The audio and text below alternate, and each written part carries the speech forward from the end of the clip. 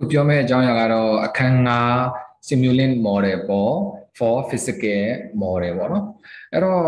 ဒီနေရာမှာ physical model ဆိုတာဒီအခုကျွန်တော်တို့မြင်နေရတော့ဥပမာပေါ့နော် motor car motor car ဆိုရင်လည်းပဲဒါဒီ physical physical model ပေါ့အဲ့တော့ motor cycle ဒါဒီလည်းပဲ physical ပဲပေါ့နော်အဲ့တော့အဲ့ဒီအတွင်းထဲမှာရှိနေတဲ့ဥပမာဆိုကြပါစို့ထပ်ပြီးတော့ကြည့်ကြည့်ခဲ့မယ်ဆိုရင် engine ပေါ့အဲ့တော့ engine ဆိုခဲ့ရင်လည်းပဲဒါဒီ physical အရာကျွန်တော်တို့ဖွဲ့စည်းထားသောအခြေအနေပေါ့ အဲ့တော့ကျွန်တော်တို့ကအရာဝတ္ထုတစ်ခုကိုဒီ physical model မဖန်တီးခင်မှာ ကျွန်တော်ဘာကိုအရင်လောက်ရတာလဲဆိုခဲ့ရင်အဲ့ဒီ physical model ကိုကိုစားပြုနိုင်တော့ prototype ပေါ့နော်ဒီပုံစံငယ်တွေလောက်တာလည်းရှိမယ်ဒါမှမဟုတ်ဘူးဆိုခဲ့ရင်လည်းပဲ software တွေကိုအကူအညီအသုံးပြုပြီးတော့ simulation ပေါ့နော်အဲ့ဒီ model နဲ့တူတာပေါ့နော်အဲ့ဒီ model နဲ့တူတဲ့အဲ့ဒီ model ကိုကိုစားပြုနိုင်တဲ့ simulation model တွေကိုတိစောက်ပြီးတော့ကျွန်တော်တို့စမ်းကြည့်တာတွေလည်းပဲအရင်လောက်ဆောင်ရမှာဖြစ်ပါတယ်အဲ့တော့ prototype လုပ်မယ်စမ်းကြည့်မယ် simulate software တွေနဲ့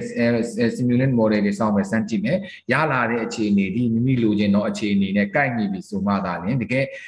အစစ်အမှန် physical model ကိုတိစောက်ပြီးတော့စမ်းသပ်ကြည့်ရတာမျိုးဖြစ်ပါတယ် ဒါကြောင့်မို့လို့ဟိုတကယ်တကယ်တမ်း physical model တခုမစတင်ခင်မှာ prototype တော်လကောင် software တခုညီနဲ့ simulate model တော်လကောင်တိစောက်ပြီးတော့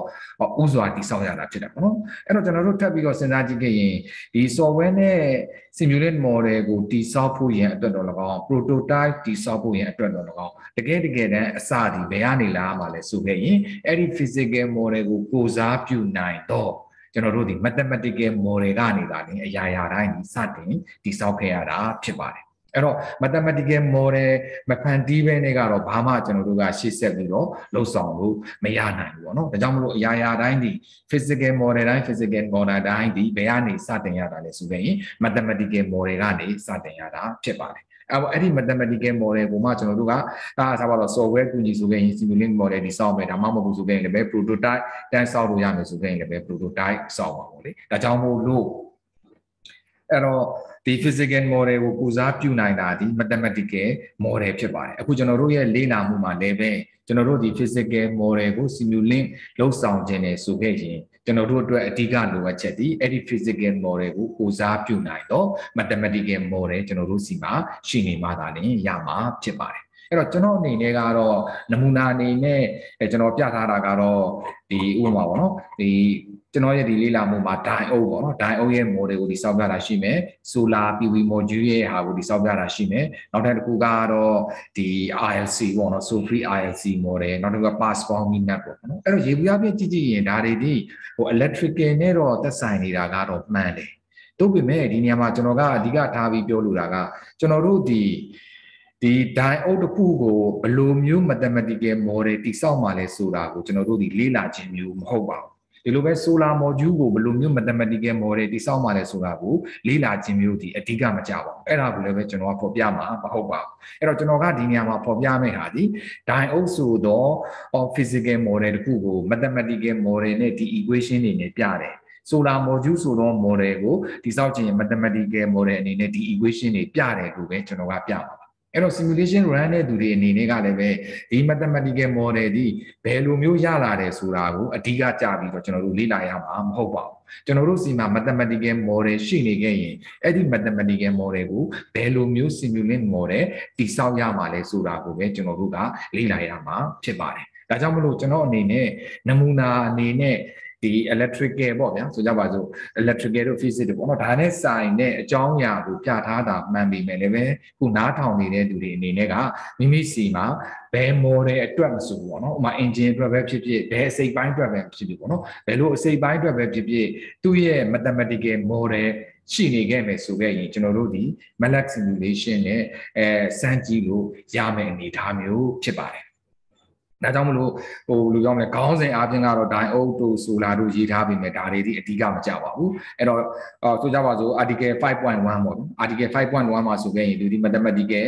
အဲ model အတွက် equation 3ချောင်းပါတာပေါ့ဒီ equation 3ချောင်းကိုကျွန်တော်တို့ဘယ်လိုမျိုးဟိုချိတ်ဆက်ပြီးတော့ simulate model စောင့်ပါလဲဒါကိုလေ့လာခြင်းမျိုးပဲဖြစ်ပါတယ် ဒီလိုပဲနောက်ထပ် article 5.2မှာဆိုခဲ့ရင်လည်းပဲဒီ mathematical model ထားပါတော့เนาะဥပမာ၄ခုဆိုခဲ့ရင်လည်း၄ခုပေါ့ဒီ၄ချောင်းကိုကျွန်တော်တို့ဘယ်လိုမျိုး physical model စောင့်ပါလဲဆိုတာကိုလေ့လာခြင်းမျိုးပဲဖြစ်ပါတယ်အဲ့တော့ဒါလေးကိုတော့ဟိုရှင်းစေတာရှင်းစေလို့တော့ဗောနော် အဲ့တော့နမူနာအနေနဲ့ကဒါလည်း diode တို့ဘာလို့ဖော်ပြထားပြီမဲ့တကယ်တကယ်တမ်းကကြတော့ဒါတွေအဓိကမကြပါဘူးဒီ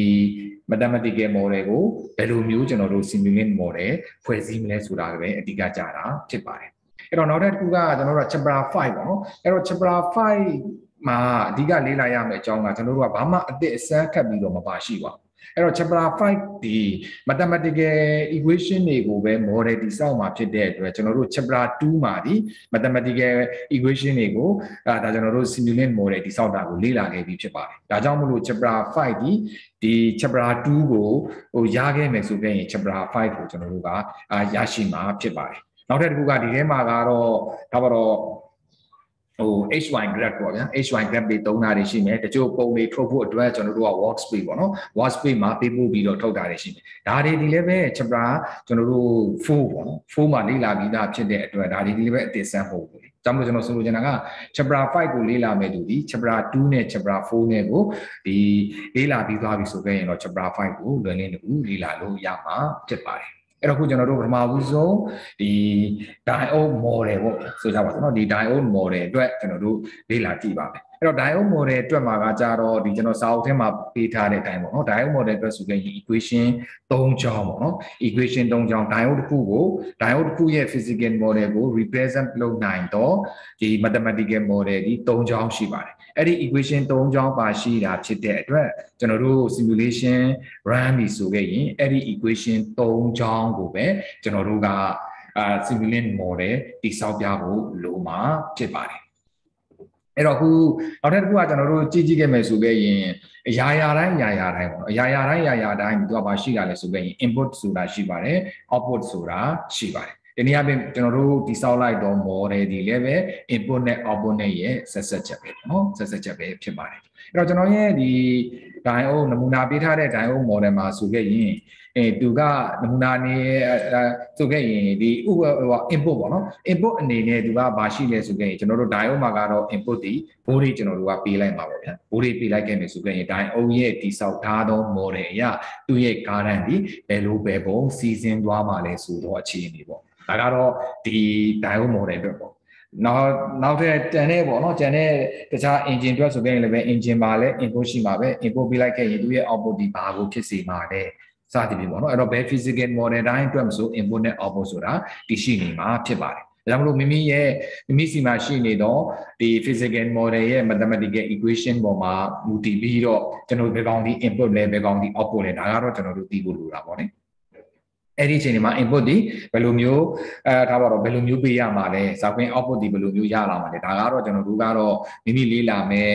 model ပေါ်မှာမူတည်ပြီးတော့အော်ကျွန်တော်တို့ကသိရှိထားဖို့လိုတာတော့ဖြစ်တာပေါ့နော်အဲ့တော့ခုဒါကျွန်တော်ရဲ့ diode မှာဆိုခဲ့ရင် input ဒီဒီ voltage ပေါ့ဗျာ voltage ရှိမယ် output ဒီဒီ diode ကနေထွက်လာမဲ့ current ရှိမယ်အဲ့တော့ခုကျွန်တော်ဒီပုံမှာပြထားတဲ့ဆိုခဲ့ရင်အခုဒီနေရာမှာရှိနေတာဒီ diode ရဲ့ model ပေါ့ diode ရဲ့ model နေရာမျိုးပြောမယ်ဆိုရင်တော့ sub system ပေါ့ဗျာ diode ရဲ့ model diode ရဲ့ sub system ကိုပြထားတာဖြစ်တယ်အဲ့တော့အဲ့ဒီ diode ရဲ့ model ကို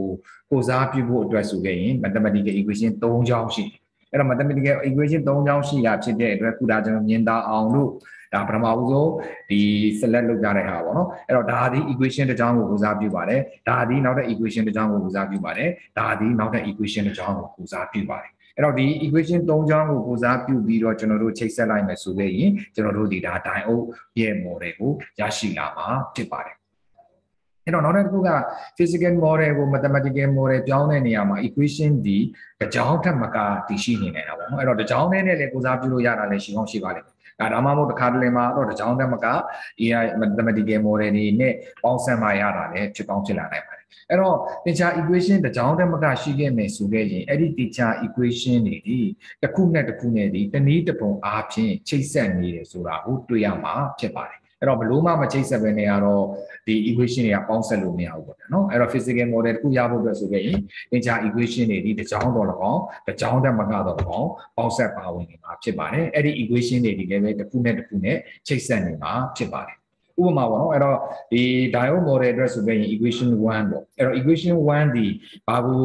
ရှာတာလဲဆိုခဲ့ရင်ဒါဒီဒီဘက်က block ဒီခုကျွန်တော် select ပြလိုက်တဲ့ block ဒီ equation 1သူဒီဘာကိုရှာချင်တာလဲဆိုခဲ့ရင်သူရဲ့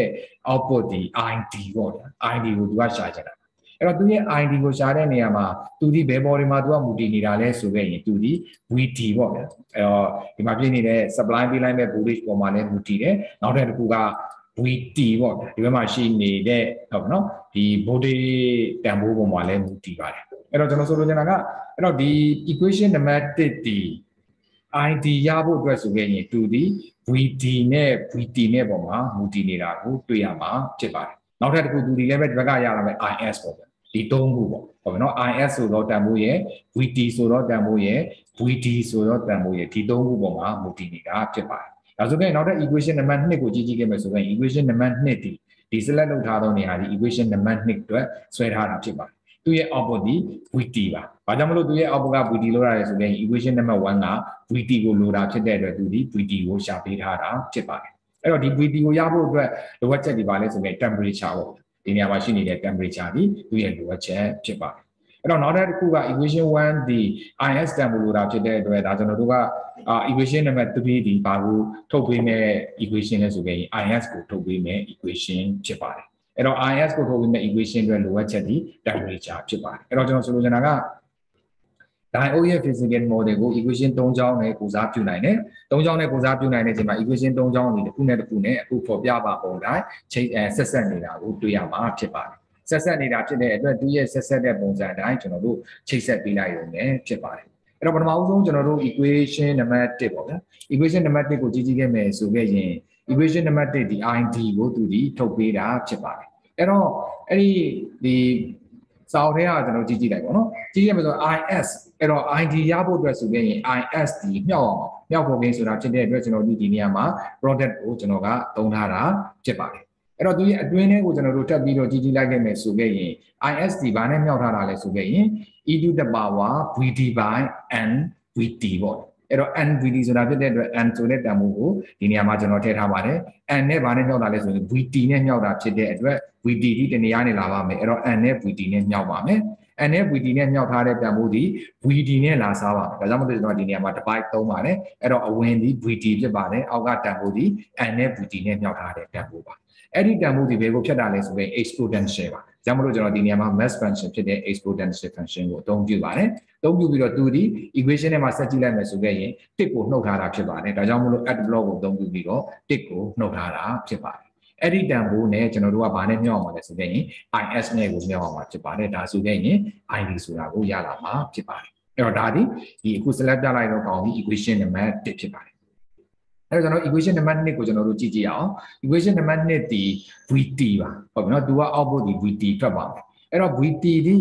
သူကဘာနဲ့စားလဲဆိုတော့ KT ကိုသူက Q နဲ့စားထားတာဖြစ်ပါတယ်အဲ့တော့ KT ကို Q နဲ့စားထားတာဖြစ်တာဖြစ်တဲ့အတွက်ကျွန်တော်တို့ဒီနေရာမှာ charge ပေါ့နော် Q ကိုကျွန်တော်က divide block နဲ့ဒီအစားထဲမှာတွင်းထားတာဖြစ်ပါတယ်အပေါ်ကဝင်လာမဲ့တန်ဖိုးဒီဘာဖြစ်ရမှာလဲဆိုရင် K နဲ့ T နဲ့မြောက်ထားတဲ့တန်ဖိုးဖြစ်ရမှာဖြစ်ပါတယ် ဒါကြောင့်မလို့အဲ့ဒီ K နဲ့ D နဲ့မြောက်ဖို့အတွက်ဒီညမှာ product block ကိုထပ်သုံးကြည့်ပါတယ်အဲ့တော့တစားဒီ K တန်ဖို့ဝင်လာတာကိုတွေ့ရမှာဖြစ်ပါတယ်အဲ့တော့နောက်ထပ်တစားဒီဘယ်တန်ဖို့ဖြစ်မလဲဆိုရင် T တန်ကိုဖြစ်ရမှာဖြစ်ပါတယ်အဲ့တော့ဒီနေရာမှာ T ရဲ့လိုအပ်ချက်ဒီကျွန်တော်တို့က Kelvin ပြောင်းရမှာပေါ့ဗျာ Kelvin ပြောင်းရမှာဖြစ်တဲ့အတွက်ဒီနေရာမှာကျွန်တော်က Kelvin ပြောင်းမဲ့ formula ပေါ့ဗျာနှစ်ခွန်3နဲ့ကျွန်တော်ကထပ်ပြီးတော့ပြောပေါင်းပေါင်းပါတယ်အဲ့တော့ဝင်လာမဲ့တန်ဖိုးဒီ degree Celsius ပေါ့နော်အဲ့တော့ဒီနေရာမှာဝင်လာမဲ့တန်ဖိုးဒီ degree Celsius အဲ့တော့ temperature ပေါ့ အဲ့တော့လောလောဆယ်လေးလာမှုဘက်ကတော့ temperature ကို25 degree Celsius မှာထားတာဖြစ်တဲ့အတွက်25လို့ရေးထားတာဖြစ်ပါတယ်တကယ်လို့မြတ်မိမိရဲ့လေးလာမှုဒီဆိုကြပါစို့ temperature ကို20 degree အတွက်တော့၎င်းနောက်တော့30 degree အတွက်တော့၎င်းတော့ဒါမျိုးဖြစ်နေရတယ်ဆိုခဲ့ရင်တော့ဒီကျွန်တော်တို့ဒီအဲ့ဒီနေရာမှာဝင်ပြီးတော့ပြောင်းလဲပြစ်လို့ရမှာဖြစ်ပါတယ်အဲ့တော့ဒါကြောင့်မလို့ဒီ283ဆိုတာက degree Celsius ကို Kelvin ပြောင်းခြင်းလို့ ချိတ်ဆက်တာဖြစ်ပါတယ်အဲ့တော့ဒီကနေထွက်လာမဲ့တန်ဖိုးဒီ t ဖြစ်ပါတယ် t နဲ့ k နဲ့ကိုမြှောက်ပါမယ်မြှောက်တဲ့တန်ဖိုးကို q နဲ့လာပြီးတော့စားမယ်ဆိုရင် vt ရရှိပါဖြစ်ပါတယ်ဒါဒီ equation နံပါတ်2ဖြစ်ပါတယ်နောက်ထပ် equation တစ်ကြောင်းက equation 1မှာလိုရတဲ့ is ကိုထုတ်ပေးမဲ့ equation ပေါ့နော်အဲ့တော့အဲ့ဒီ equation ကိုကြည့်ကြည့်ခဲ့မယ်ဆိုခဲ့ရင်ဒီ is ဒီဟို temperature မူလ temperature မှာရှိနေတဲ့ရှိနေတဲ့ is ပေါ့နော်အဲ့ဒီကောင်ရဲ့ exponential ရဲ့ ks t2 t1 ရဲ့ကိုဒီမြောက်ထားတာဖြစ်တယ်ပေါ့နော်။ဒါကြောင့်မို့လို့အဲဒီနေရာမှာအမြောက်တန်ဖိုးထည့်ထားတာပေါ့နော်အမြောက်တန်ဖိုးထည့်ထားတယ်အမြောက်တန်ဖိုးထည့်ထားပြီးတော့အာမူလတန်ဖိုးမှာရှိနေတော့အော် IS ပေါ့နော်မူလတန်ဖိုးမှာရှိနေတော့ IS ဆိုတာကဒီ T1 အခြေအနေမှာရှိနေတော့ IS ပေါ့နော်အဲ့တော့ T1 ကလည်းပဲဒီနေရာမှာ25 degree Celsius ဆိုတာဖြစ်တာဖြစ်တဲ့အတွက်ဒီတန်ဖိုးထည့်ထားတာဖြစ်ပါတယ် အဲ့တော့အဲ့ဒါရဲ့ကျွန်တော်တို့ကဘာကိုရှားမှလဲဆိုခဲ့ရင်သူရဲ့အတွင်းဘက်ကိုလိုက်ပြီးတော့ကျွန်တော်တို့ကြည့်ကြည့်ခဲ့မယ်ဆိုခဲ့ရင် t2 t1 ပေါ့အဲ့တော့ t2 t1 ဆိုတော့ဒီနေရာမှာရှိနေတဲ့25ဒီဒါ t1 ပါဟုတ်နော်အဲ့တော့ဒီဘက်က t2 ပေါ့နော်အဲ့တော့ဒီနေရာမှာကတော့လေးလာမှုလွယ်အောင်လို့ကျွန်တော်က t1 ရော t2 ရောကို25ပဲပေးထားတော့ဒါတော့မိမိပါတယ်မိမိဆက်လက်ပြီးတော့ t2 တန်ဖိုးကိုပြောင်းပြီးတော့စမ်းကျင်တယ်ဆိုခဲ့ရင်လည်းဒီနေရာမှာရှိနေတဲ့ t2 ကိုပြောင်းစမ်းလို့ရတယ်နော်အဲ့တော့ သူက equation ရ t2 ကနေ t1 ကိုနှုတ်တာဖြစ်တဲ့အတွက်ဒါဒီ t2 ဝင်ပါတယ် t1 ဝင်ပါတယ်ဒါဒီဒါပါတော့ add block နဲ့အသုံးပြုထားတာဖြစ်ပါတယ်။သူဒီဘာနဲ့မြောက်တာလဲဆိုရင် TS နဲ့မြောက်တာဖြစ်ပါတယ်။ဒါကြောင့်မလို့ product သုံးထားတာဖြစ်ပါတယ်။သူဒီ exponential တန်ဖိုးဖြစ်ပါတယ်။ဒါကြောင့်မလို့ mass function ကနေ exponential ကိုတွားတာဖြစ်ပါတယ်။အဲ့တော့သူရဲ့ရလာတဲ့တန်ဖိုးဒီဒီ T1 အခြေအနေမှာရှိနေတော့ IN ဆိုတာဖြစ်တဲ့အတွက်သူတို့နှစ်ခုကိုပြောင်းလိုက်ပါတယ်။ဒါဆိုရင် IS တန်ဖိုးရလာတာဖြစ်ပါတယ် အဲ့တော့ဒါဒီ physical diode ရဲ့ physical model ပေါ့နော်ဒီနေ့မျိုးပြောမယ်ဆိုရင်တော့ mathematical model ၃ခုပေါ့နော်အဲ့တော့ diode ရဲ့ဘာရဲ့ကျွန်တော်တို့မေးထားလိုက်အဲ့တော့ mathematical model ပေါ့နော် physical model တခုကိုကိုစားပြုနိုင်တဲ့ mathematical model ကိုကျွန်တော်တို့ချိန်ဆက်ထားတာဖြစ်ပါတယ်အဲ့တော့ခုနကကျွန်တော်တို့ပြောသလိုပေါ့အဲ့တော့ model တိုင်း model တိုင်းကတော့ input ရှိမယ် output ရှိမှာပေါ့နော်အဲ့တော့ဒီနေရာမှာကျွန်တော်တို့ကြည့်ကြည့်ခဲ့ရင်ကျွန်တော်တို့ဒီ ဒီ input အနေနဲ့ VD ကိုပြောင်းမယ်ဆိုခဲ့ရင်လည်းပဲသူရဲ့ output တန်ဖိုးကပြောင်းသွားမှာဖြစ်တယ်ဒါမှမဟုတ်ဘူးဆိုခဲ့ရင်ဒီနေရာမှာရှိနေတဲ့ temperature ကိုပြောင်းမယ်ဆိုခဲ့ရင်လည်းပဲ output တန်ဖိုးကပြောင်းသွားမှာဖြစ်ပါတယ်တူပဲတခုလေးလာမှုမှာတော့လွယ်အောင်လို့ကျွန်တော်ဒီ VD ကိုပဲပြောင်းပေးထားတာပေါ့နော်အဲ့တော့ VD ကိုပြောင်းတယ်ဆိုတဲ့နေရာမှာလည်းပဲဒါကတော့ input input ပေါ့နော် input တန်ဖိုးဒီလည်းပဲမိမိရဲ့ model ပေါ်မှာမူတည်ပြီးတော့ကျွန်တော်တို့ကစဉ်းစားရမှာဖြစ်တာပေါ့လေအဲ့တော့ဒီကျွန်တော်ရဲ့လေးလာမှုအတွက်ကတော့ကျွန်တော်က ဒီမှာရှိနေတဲ့ input board တွေပေါ့ဗျာ repeating input board တွေဒီနေ့အပြင် input တန်ဖိုးကိုတော့ကျွန်တော်က repeating sequence stayer ကိုကျွန်တော်ကအသုံးပြုပေးထားတာဖြစ်ပါတယ်အဲ့ကျွန်တော် model ရဲ့လိုအပ်ချက်အရကျွန်တော် model ရဲ့လိုအပ်ချက်အရကျွန်တော်က1လောက်ထိပဲကျွန်တော်ကလိုတာပေါ့နော်1လောက်ထိပဲလိုတာဖြစ်တဲ့အတွက်ကျွန်တော်ဒီ0ကနေအဲ1ကိုကျွန်တော်ပေးထားတာဖြစ်ပါတယ် ပြီးကြတော့သူရဲ့ဟိုပါပေါ့ increment ပေါ့နော် increment ကိုတော့ time step 0.001ပေးထားတာဖြစ်ပါတယ်ဒါကြောင့်မလို့ကျွန်တော်ဒီနေရာမှာ sample time ကိုလည်း0.001ပေးလိုက်တာဖြစ်ပါတယ်အဲ့တော့ထပ်တော့ထပ်ပြီးတော့ပြောလို့တာကတော့ input တန်ဖိုးတွေဒီမိမိရဲ့ physical model ရဲ့လိုအပ်ချက်ပေါ်မှာမူတည်ပြီးတော့ပြောင်းလဲနေမှာဖြစ်ပါတယ်ဒါကိုတော့ပုံသေးပြောကြည့်လို့တော့မရဘူးပေါ့နော်အဲ့တော့ဒါကတော့ဘယ်လိုပြောရမလဲ MATLAB simulation နဲ့မဆိုင်တော့ဘဲနဲ့အဲ့ဒီ ပညာရေးပိုင်းဆိုင်ရာပဲဖြစ်သွားတာပေါ့နော် electrical ဆိုလဲ electrical ပညာရေး mechanical ဆိုလဲ mechanical civil ဆိုလဲ civil ပေါ့နော်အဲ့တော့ဒါဒီလည်းပဲသူ့ရဲ့ပညာရေးနဲ့ပဲဆိုင်သွားတဲ့အခြေအနေမျိုးဖြစ်ပါတယ်ပုံသေးလို့တော့ပြောလို့တော့မရဘူးပေါ့နော်အဲ့တော့ဒီနေရာမှာကျွန်တော်ကဒီဘယ်လိုပြောရမလဲဟိုမြင်ရတာရှင်းအောင်လို့ပေါ့နော်မြင်ရတာအဲ့တော့ဒီအတိုင်းဆောက်ပြီးတော့ simulation ကျွန်တော်တို့ run လိုက်မယ်ဆိုခဲ့ရင်လည်းပဲဒါကျွန်တော်တို့ဟိုရတယ်ပေါ့နော်အဲ့တော့ဒီစင်းကျွန်တော်တို့ချိတ်ဆက်ပြီးပြီဆိုခဲ့ရင် simulation ကျွန်တော်တို့ run လိုက်တယ်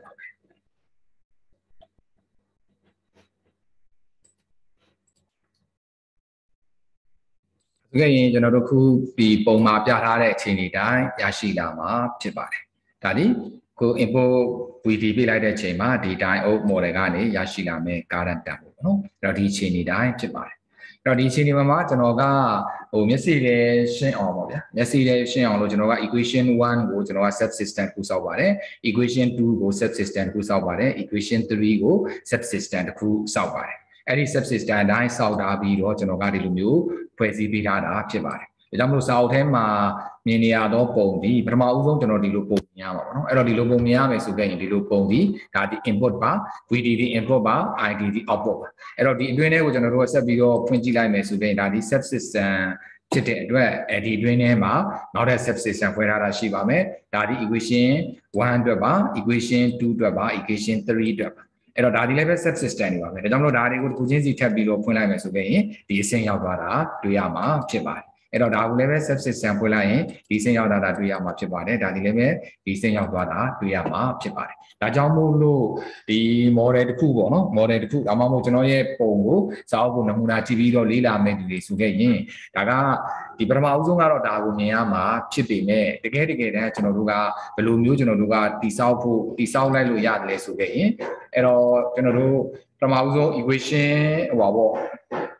equation 1ကိုကျွန်တော်တို့ပုံရင်အဲထားပါတော့နော်လွယ်အောင်လို့ကျွန်တော်တို့ကဒီမှာတော့ကျွန်တော်တို့ဒါတွေအားလုံးကိုကျွန်တော်တို့ချိတ်ဆက်လိုက်လို့ရတယ်ဟုတ်ကဲ့နော်ဒါတွေအားလုံးကို equation 1ကိုဆွဲ ဆွဲပြီးတော့ equation 2ကိုဆွဲ3ကိုဆွဲဆွဲပြီးပြီဆိုခဲ့ရင်တော့တော့ VD ချိန်ရမယ်ဆိုရင် VD ချိန်လိုက် VD ချိန် VD ချိန် IS ချိန် IS ချိန်ဒီဘက်မှာ temperature ချိန် temperature ချိန်ချိန်ပြီးကမှကျွန်တော်တို့ဒီနေရာမှာရှိနေတဲ့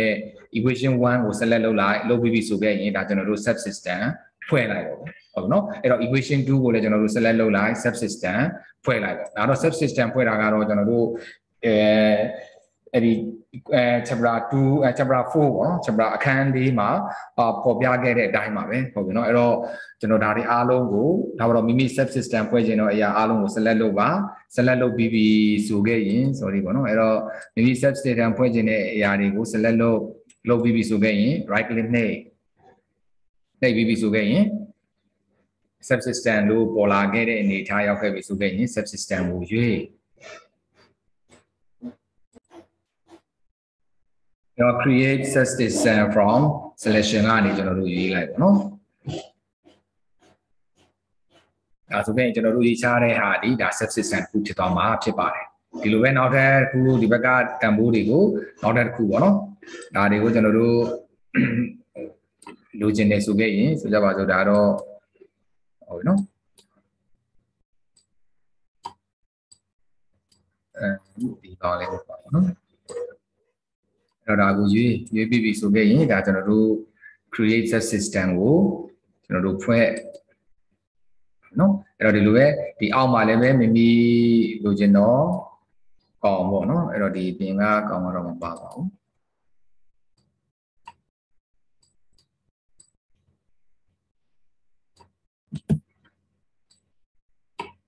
တော့မိမိလိုချင်တဲ့ကောင်ကို set system ကျွန်တော်တို့ဖွဲ့လိုက်လို့ရပါတယ် ဟုတ်ပြီနော်အဲ့တော့ဒီတိုင်းကျွန်တော်တို့ဖွဲ့လိုက်ပါနော်အဲ့တော့ဒီတိုင်းကျွန်တော်တို့ဖွဲ့လိုက်မယ်ဆိုခဲ့ရင်ခုနကတော့ပုံမှာမြင်နေရတဲ့အတိုင်းရရှိလာမှာဖြစ်ပါတယ်အဲ့တော့ဒီအခြေအနေရောက်သွားပြီဆိုတာမှဒီအခြေအနေမှာကျွန်တော်တို့ကတက်ပြီးတော့ဒါကို set system ကပ်ပြီးတော့ဖွဲ့ပေါ့လေနော်ဒါဆိုခဲ့ရင်ဒီအခြေအနေရောက်သွားမှာဖြစ်ပါတယ်အဲ့တော့ဒီပုံဒီဒီပုံဒီပထမဦးဆုံးကျွန်တော်တို့မြင်နေရတော့ပုံပဲဖြစ်ပါတယ် အဲ့တော့ဒီလိုအခြေအနေဖြစ်သွားပါဘောနော်အဲ့တော့ဒီအခြေအနေမှာမှကျွန်တော်တို့ကထပ်ပြီးတော့ဖွင့်ကြည့်မယ်ဆိုခဲ့ရင်ဒါလေးကိုတစ်ပတ်ကလေးနှိပ်ပြီးတော့ဖွင့်ပါအဲ့ဒီထဲမှာ equation 1အတွက်2အတွက်3အတွက်ဆိုပြီးတော့ရရှိလာတာကိုတွေ့ရမှာဖြစ်ပါတယ်ဒါကြောင့်မလို့ဒီပထမဦးဆုံးခေါင်းစဉ်ပေါ့နော်ဒီ diode model ပေါ့ diode model ကိုဒီစောက်ဖို့အတွက် equation 3ချောင်းနဲ့ဖန်တီးတဲ့နေရာမှာအခုကျွန်တော်ပေါ်ပြထားသောအခြေအနေတိုင်းဖန်တီးလိုက်မယ်ဆိုခဲ့ရင်စာမှာပြထားတဲ့အတိုင်းရရှိလာတာကိုတွေ့ရမှာဖြစ်ပါတယ်